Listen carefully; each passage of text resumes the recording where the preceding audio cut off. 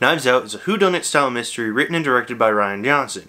You may know him for The Last Jedi, which I actually enjoy. More on that in a video to come in the future, but for now, let's just move on. This movie is mm, really good. It's a lot of fun. Um, I am probably a little bit biased. I really, really like mystery style things. Uh, some of the first books I actually remember reading as a child were the Hardy Boys. So I've, I've always enjoyed mystery. I, have always enjoyed trying to figure out who did what crime and whatnot. And the thing with this one, it is really, really well done.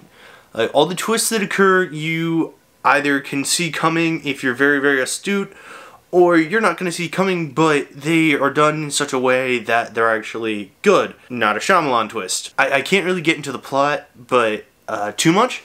The basic plot is this really old writer seemingly commits suicide, but someone hires this world famous detective, played by Daniel Craig, to find out who killed him because he suspected that he did not commit suicide, that it was a murder.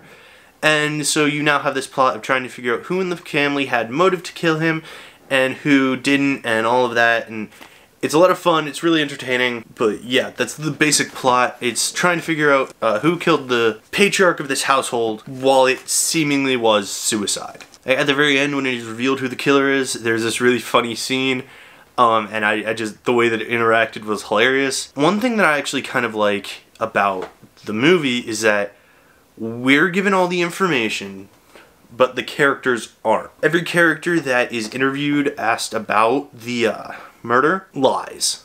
They don't tell the truth about what happened, so we all know that they have motive, the others don't. It's not really a spoiler, that's like kind of par for the course with this kind of mystery. The fact that who did it was so well concealed, and I had no, I didn't even see it coming, I thought was amazing. The acting. The acting in this movie is phenomenal. Uh, you have uh, Ransom, played by Chris Evans, he's a lot of fun. It was really nice to see Chris Evans in a role where he's the asshole, not like the goody two shoes who tells everyone else to stop. There's one point in the movie where he tells like pretty much every other mem member of his family to eat shit. That was hilarious. Daniel Craig does a really good job as uh, LeBlanc. I can't remember his first name. I don't say it too much, so Sorry. His American accent isn't the best, but his southern accent was surprisingly sound. Kind of like a Cajun from Louisiana, Alabama, Kentucky type. So hard to pin down exactly where, but it, the, the drawl that he has is actually really solid. The woman that plays uh, Marta the main character, she does a really good job. Uh, the rest of the family does a really good job. Everyone in the movie is phenomenal. They're all really, really good. It's all shot in a very, very, like, very old style mystery type way. The full information doesn't get revealed until the end of the movie, which is just makes it even better. It's a lot of fun. Don't really have a ton to say about it other than go watch it. Like, if you enjoy uh, mystery style thriller type films, you're gonna love this honestly, if mysteries aren't your thing, you're probably not. But it's done really, really well.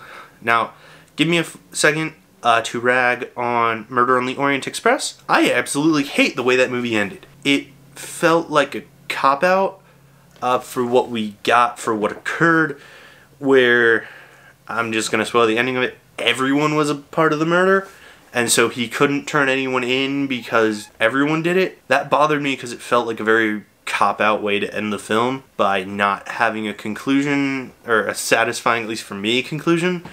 And so that personally bothered me. So this one I thought had a much better ending, was much better wrapped up. I'd say for me this movie rolls a 17. Definitely good enough for me to watch again.